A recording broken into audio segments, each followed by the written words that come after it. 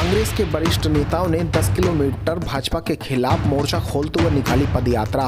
गजरोला औद्योगिक नगरी क्षेत्र के मोहल्ला मायापुरी बस्ती, चौहानपुरी, मालगुदाम रोड, भानपुर रेलवे फाटक एवं अन्य कई स्थानों पर मंगलवार को कांग्रेस के कार्यकर्ता इकट्ठा होकर 10 किलोमीटर पैदल यात्रा निकाली।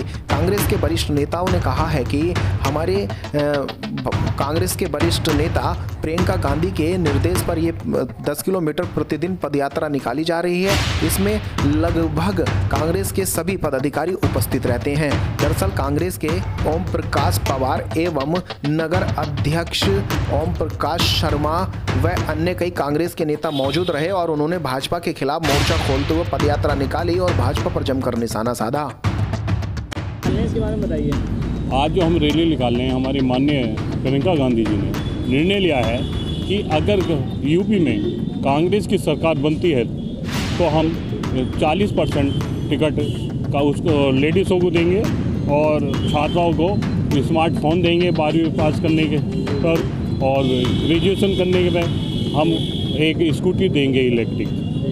और गन्ने का भाव चार सौ रुपये करेंगे। पच्चीस हज़ार रुपये हम कोरोना काल के जो लोग हैं पीड़ित लोग हैं उनको पच्चीस हज़ार रुपये देंगे।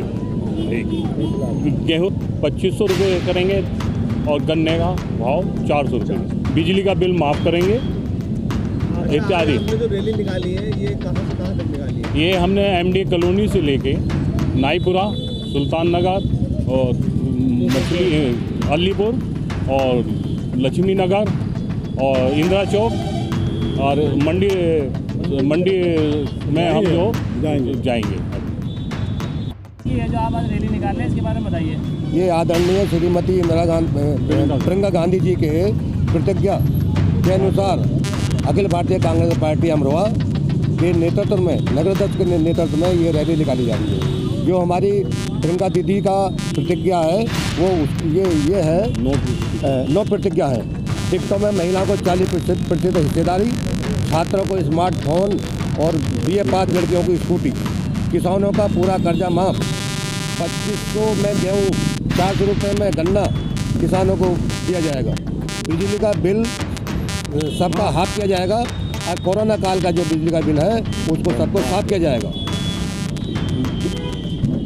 परिवार को पच्चीस हज़ार देंगे। जो कोरोना काल में जो परिवार पीड़ित हैं या उनके साथ जो घटना घटी है, उनको पच्चीस हज़ार रुपये दिया जाएगा। बीस लाख रोज़गार दिया जाएगा जो बेरोजगार है।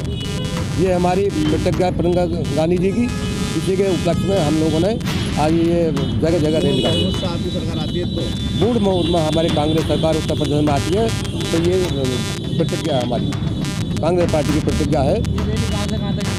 ये रैली कॉलोनी। से लेकर यहाँ पर लाईपुरा अलीपुर चौपला लक्ष्मी नगर होते हुए इंदिरा चौक और अब लास्ट में मंडी रोड। लास्ट करेंगे